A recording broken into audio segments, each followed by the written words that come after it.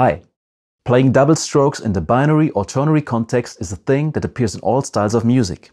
To execute them well, I created the following exercises. A lot of students struggle with this.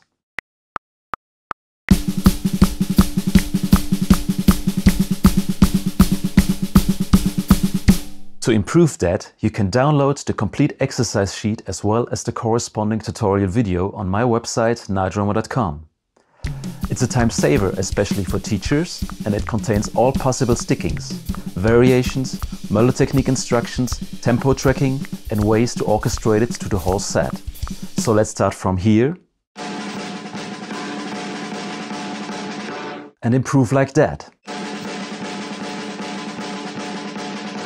Don't forget, if you should feel like making any progress, it's always best to go for a good teacher and to learn to read sheet music.